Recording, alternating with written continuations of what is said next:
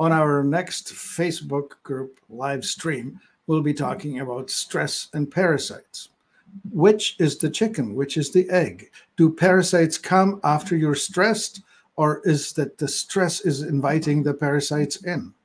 Which comes first? And where are they? What are they? What are their life cycles?